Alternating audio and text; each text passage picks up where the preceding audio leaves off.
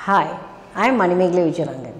I am fine and fit as a fiddle and I am sure even you all are fine. நான் ரொம்ப ஆரோக்கியமாக சந்தோஷமாக இருக்கேன் நீங்களும் எல்லோரும் நல்லா ஆரோக்கியமாக இருக்கீங்கன்னு தெரியும் இன்றைக்கு an idiom a week keeps your English at peak இந்த தலைப்பில் நம்ம ஒரு புது இடியம் பார்ப்போம் இன்றைக்கி நம்ம பார்க்க போகிற இடியம் என்னென்னா டு பரி the hatchet to bury the ஹேட்ஷெட்னா to forget enmity and be friendly அதாவது பழைய கோபத்தெல்லாம் மறந்துட்டு நல்லா ஃப்ரெண்ட்லியாக சகஜமாக பழகிறதுன்னு இல்லையா? அந்த இடத்துல இது யூஸ் பண்ணலாம். டு பரி த ஹேட்ஷெட் இப்போது ஒருத்தர் அவங்க ஃப்ரெண்ட்ஸ் இல்லை ரிலேட்டிவ்ஸோட இல்லைன்னா நெய்பர்ஸோட அடிக்கடி சண்டை போடுவாங்க எல்லாம். அப்படி இருக்கும்போது சந்தோஷமே இருக்காது மனசில் இல்லையா?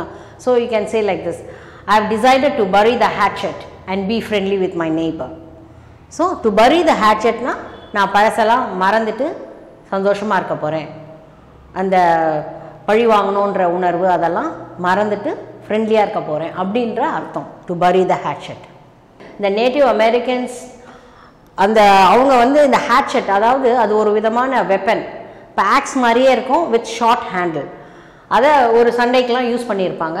இப்போது சரி சண்டை வேண்டாம் இனிமேல் பீஸ் தான் வேணும் அப்படின்னும் போது அதை குழி தோண்டி புதைச்சிடுவாங்க அப்படி உருவானது தான் இந்த பரி த ஹேட்செட் இப்போ அதை எப்படி சென்டென்சஸில் யூஸ் பண்ணுறதுன்னு பார்ப்போம்.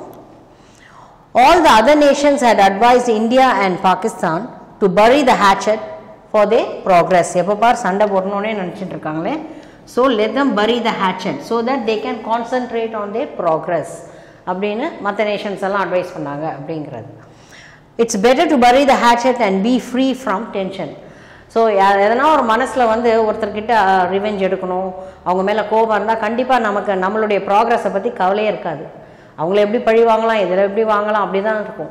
So it's better to bury the hatchet அந்த எண்ணத்தெல்லாம் குழி தோண்டி புதைச்சிட்டோம்னா நம்ம மைண்டும் ஃப்ரீயாக இருக்கும். We can concentrate on our progress. அதுதான் அர்த்தம். So it's better to bury the hatchet and be free from tension so இப்போது பரி த ஹேட்செட்ன்ற மீனிங் உங்களுக்குலாம் புரிஞ்சிருக்கும்னு நினைக்கிறேன். இதை ரொம்ப சாதாரணமாக பேசும்போதே நீங்கள் யூஸ் பண்ணலாம். So, frame new sentences with bury the hatchet and send it through comments. Okay, I will meet you in the next video with a new idiom. Till then, take care. Bye bye.